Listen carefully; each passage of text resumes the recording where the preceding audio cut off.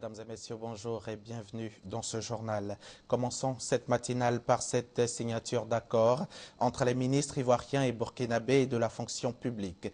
Les deux pays ont décidé de renforcer leur coopération au niveau de la gestion de l'administration publique. Un accord vient d'être signé entre les ministres des deux pays.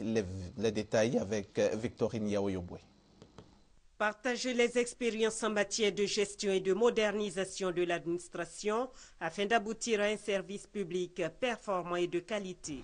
Voilà qui explique la signature d'accords de coopération entre le ministre ivoirien de la fonction publique et de la réforme administrative, Niamie Konan, et son homologue burkinabé chargé de la fonction publique, du travail et de la sécurité sociale, Vincent Zakane.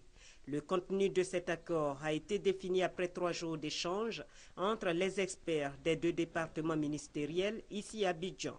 Il porte sur les sept actions suivantes. Consultation et expertise dans le domaine de l'administration publique en matière de modernisation de l'administration. Échange de missions de hauts responsables des administrations. Échange de bonnes pratiques entre administrations. Stages et voyages d'études organisation de séminaires et de sessions de perfectionnement, renforcement de la coopération entre les établissements de formation et de perfectionnement des agents publics. Les ministres Nyamie Kona et Vincent Zakane ont souligné que ce protocole d'accord s'inscrit dans le cadre du traité d'amitié et de coopération entre la Côte d'Ivoire et le Burkina Faso, signé en 2008 à Ouagadougou. Combien sont-ils, combien sont les victimes de la crise ivoirienne et comment peut-on mettre fin aux rancœurs et autres frustrations en réparant les préjudices? Pour y arriver, tenue d'une conférence ici à Abidjan, entre autres recommandations et propositions à l'issue de la conférence, l'élaboration de toute urgence d'une politique nationale sur les réparations. On reste avec Victorine Yaoyobwe. Les réparations, un droit pour les victimes et une obligation pour l'État ivoirien. Tout autour de cette table, gouvernement, opposition, organisation des droits de l'homme et organisme des Nations Unies partagent cet avis. Pourtant, cela fait des années que les victimes de la crise ivoirienne attendent ces réparations. Il y a des personnes, à l'état actuel des faits, qui portent des, des balles en elles. Il y a d'autres aussi qui sont infantilisés parce que c'est des responsables qui, à la faveur de, de, ces crises-là, sont devenus sans situation. Le programme national de cohésion sociale, PNCS, chargé d'indemniser les victimes de la crise post-électorale, explique que la prise en charge des victimes est un long processus. Les politiques, eux, pensent qu'il existe des préalables à la prise en charge des victimes, le pardon et la réconciliation. La première réparation des blessures de nos frères et sœurs victimes, c'est la réconciliation. Et je pense que les victimes doivent l'exiger en tant que préalable, la réconciliation de tous. Et alors tout sera possible. Nous considérons que la question fondamentale, c'est la réconciliation des Ivoiriens. Si les Ivoiriens acceptent de se réconcilier, alors ensemble, ils trouveront des solutions à tous ces problèmes. Comment est-ce qu'on va régler le problème des victimes? La solution de la prise en charge des victimes de la crise ivoirienne et partant de la paix en Côte d'Ivoire découlera de la somme de ces différentes approches contenues dans une politique nationale. C'est à cela qu'invite l'expert indépendant des Nations Unies sur la situation des droits de l'homme en Côte d'Ivoire, Dodo Dienne, initiateur de ce cadre d'échange. Les travaux de construction du troisième pont, le pont Henri Conan-Bédier, avancent bien. C'est le constat fait hier matin par les ministres de l'Environnement, de la Salubrité urbaine et du Développement durable et celui des infrastructures économiques. Les deux ministres sont venus se rendre compte de la coulée du dernier pieu du pont. Alexise Evelyne.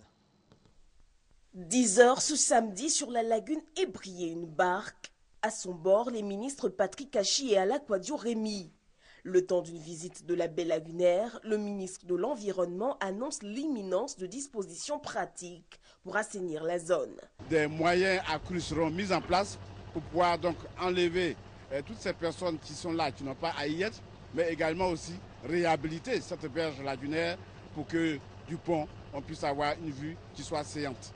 Alors que la date de livraison du pont fixée au 22 décembre prochain s'annonce à grands pas, les travaux, eux aussi, avec la coulée ce samedi du dernier pieu de l'ouvrage. Aujourd'hui, on pose le dernier pieu, le 62e pieu de ce pont.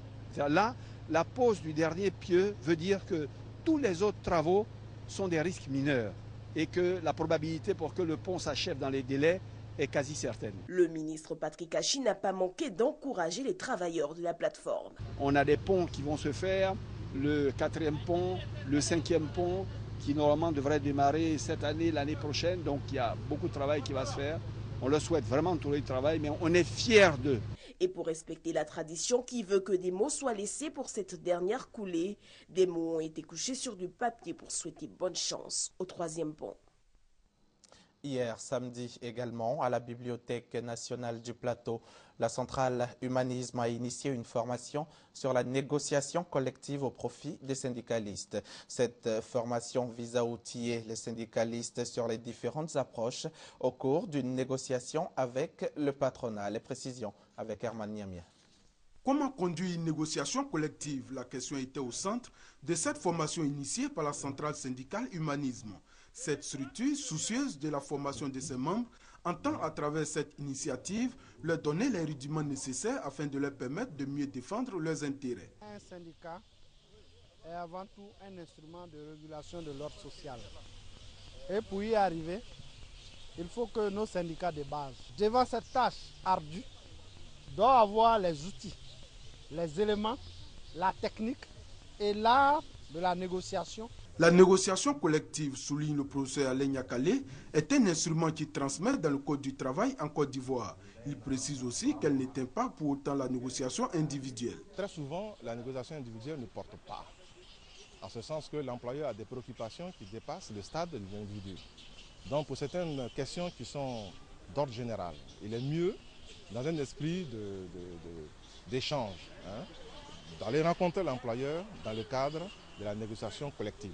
Alain Yakale ajoute aussi que pour obtenir des résultats avec la négociation collective, il faut un engagement de la part des syndicalistes, une volonté de discuter avec le patronat pour asseoir un véritable dialogue social. Toutes ces explications ont permis à l'assistance de mieux appréhender le sujet. Très belle séance de formation parce qu'ici, euh, nous enseignons une sorte de méthodologie sur la négociation quand on est syndicaliste. Parce que là, je, que nous avons beaucoup appris à savoir euh, comment il faut se comporter quand vous êtes leader syndical. Je viens d'apprendre beaucoup de choses, sachant que la négociation collective dépend d'abord du groupe. Du groupe et puis avec qui négocier. Il faut savoir avec qui négocier, comment négocier. Cette formation a été aussi l'occasion pour Soro Mamadou de donner la position de sa structure sur la revalorisation des salaires et la procédure du Code du travail. Soro Mamadou salue l'initiative de l'État. Il plaide cependant pour que le projet de Code du travail issu du consensus du 12 juillet 2013 soit adopté. L'actualité hors de chez nous à présent, en Centrafrique, les renforts annoncés de la mission française Sangaris doivent arriver sur place dans les prochains jours. La France est contrainte d'augmenter son contingent face à la gravité de la crise, mais aussi face à la réticence, la lenteur de ses partenaires européens, très frileux à l'envoi de troupes en République centrafricaine. Hier samedi, au sortir d'une réunion du Conseil de sécurité de l'ONU, la chef de la diplomatie européenne, Catherine Ashton a annoncé l'envoi de 1000 hommes au sein de la future mission EUFOR RCA. Annonce faite alors que la pression internationale est de plus en plus forte sur Bruxelles. La bibliothèque Le Pavillon Blanc, c'est le nom du nouveau centre réservé aux personnes malvoyantes de la ville de Douala au Cameroun. Tout premier dans son genre, l'espace dispose de plusieurs manuels pour le renforcement des capacités des handicapés visuels. Il est doté de machines de lecture, de livres audio, de livres à grand caractère et de cours informatiques. Les activités ciblent prioritairement les enfants malvoyants et les jeunes adultes scolarisés, les jeunes déscolarisés victimes du découragement et des frustrations que suscite une mauvaise vue et enfin des personnes du troisième âge. Jolibo Koubé est un albinos complet. C'est l'initiateur de ce projet novateur, une bibliothèque pour personnes aveugles dont il rêvait depuis sa jeunesse. Alors qu'il était encore sur les bancs de l'école, il avait réalisé que son mal faisait de lui un marginal dans son pays. Je ne compte pas le nombre de fois où Par exemple, j'ai remis une copie vierge au cours d'une interrogation, au cours d'un examen, pas parce que je n'étais pas à la hauteur de l'épreuve, mais euh, parce que les, caractères de l'épreuve étaient petits. Et c'est à force de persévérance et de travail personnel acharné que Jolibo Koubé parvient à faire ses études jusqu'à l'université. Un vrai parcours de combattant. Malheureusement, la société africaine divise les gens en ceux qui voient et ceux qui ne voient pas. Ceux qui ne voient pas bien, généralement, ils ne sont pas pris en compte. Dans la toute nouvelle bibliothèque pour malvoyants, tout a été conçu pour faciliter la tâche aux albinos. Le dispositif est simple. Le livre est disposé sous l'objectif d'un appareil numérique. Son contenu apparaît à l'écran en très gros caractères. Généralement, les albinos naissent myopes. Vous voyez, et avec la myopie, on ne peut pas lire. Écrire même, c'est un problème. Désormais, si un albinos a cet appareil, il pourra s'en sortir mieux au niveau de l'école. J'ose croire que ça servira aussi à plusieurs autres personnes, puisqu'il ne suffit pas seulement d'être albinos pour euh, avoir des problèmes de vue, ça concerne tout le monde. Les albinos de Douala se sont mis à rêver de classes équipées de ce matériel pour leurs enfants scolarisés. Quant à Jolibo Koubé, il envisage déjà d'ouvrir ce type de bibliothèque dans d'autres villes du Cameroun. Pour enrayer les contaminations au VIH, le Rwanda lance une campagne nationale de circoncision reposant sur une nouvelle technique ne nécessitant pas de gestes chirurgical. À l'étude, depuis plusieurs années, cette pratique baptisée Perpex vient d'être officiellement adoptée par le Rwanda, premier pays à lui dédier une campagne nationale. Les autorités sanitaires s'appuient pour cela sur une de nouvelles techniques bien particulières saluées par l'Organisation mondiale de la santé. Il se presse, un peu anxieux. Ce jour-là, à l'hôpital de Ruhango, c'est le coup d'envoi de la campagne de circoncision. Et si les candidats sont aussi nombreux, c'est à cause d'une promesse. L'intervention se fera sans bistouri, donc sans douleur, et ce grâce à un procédé mis au point en Israël. Un objet composé de deux anneaux en plastique et d'un élastique qui coupe la circulation sanguine au niveau du prépuce. Ça va créer l'ischémie qui va entraîner la nécrose du prépuce. Et après sept jours, nous allons enlever le prépuce qui est nécrosé et puis enlever l'anneau qui était placé dedans. Cinq minutes et ce patient repart tout sourire. Seul bémol, il devra s'abstenir de tout rapport sexuel pendant six semaines. Des campagnes de circoncision classiques, le Rwanda en a déjà lancé pour réduire les risques de contamination par le sida. Mais ici, la circoncision ne fait pas partie de la tradition, alors pas toujours facile de convaincre.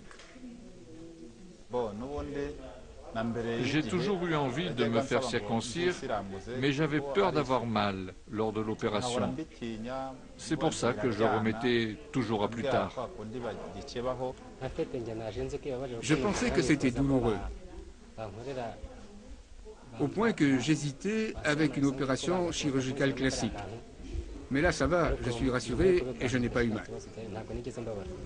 Grâce à cette nouvelle technique, le Rwanda espère circoncire 700 000 hommes d'ici deux ans. La deuxième session de pourparlers sur la Syrie s'est achevée hier samedi 15 février à Genève sur un échec total. Les représentants du régime et de l'opposition n'ont trouvé aucun point d'accord pour trouver une issue politique au conflit et aucune date n'a été fixée pour une éventuelle reprise des discussions. Face à cette impasse, le médiateur de l'ONU, Lakhdar Brahimi, a même présenté ses excuses au peuple syrien. Avant de terminer ce journal, je vous conduis maintenant dans le monde. Allons faire un tour tout d'abord en Syrie, où la guerre continue de sévir. Au moins 33 personnes ont été tuées vendredi en Syrie dans un attentat à la voiture piégée devant une mosquée tenue par les rebelles dans une localité du sud du pays. Les militants accusent les forces du régime d'être derrière cet attentat. Dans le même temps, au nord, à Alep, des rebelles ont fait exploser des mines sous l'hôtel Carlton dans la vieille ville, faisant au moins cinq morts. Pendant que le ravitaillement en denrées de première nécessité parvient péniblement à Homs, le médiateur de l'ONU, Lakhdar Brahimi, a imposé samedi un ultime face-à-face entre les représentants de l'opposition et du gouvernement syrien.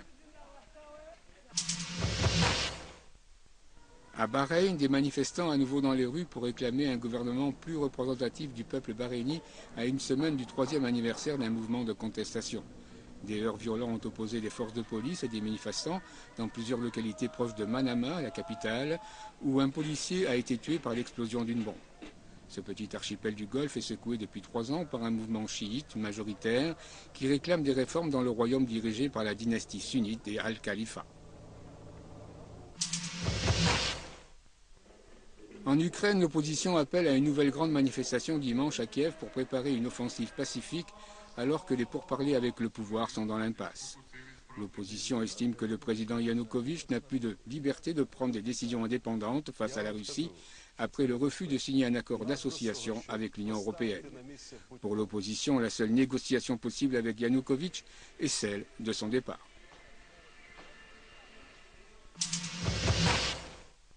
Neige et pluie verglaçante, c'est le quotidien que vit l'Est des États-Unis avec la pire tempête attendue de l'hiver, susceptible de paralyser de nombreux États depuis la Géorgie et la Caroline du Sud jusqu'aux régions les plus au nord du pays et dans l'Est du Canada. Les chutes de neige devraient rendre les déplacements dangereux. Les services de la météo conseillent d'éviter de se déplacer dans la mesure du possible et conseillent aux automobilistes d'emporter des lampes de poche et nourriture. Près de 7000 vols ont été annulés. C'est la fin de ce journal. Merci de l'avoir suivi et très bonne suite de programmes sur la chaîne qui rassemble.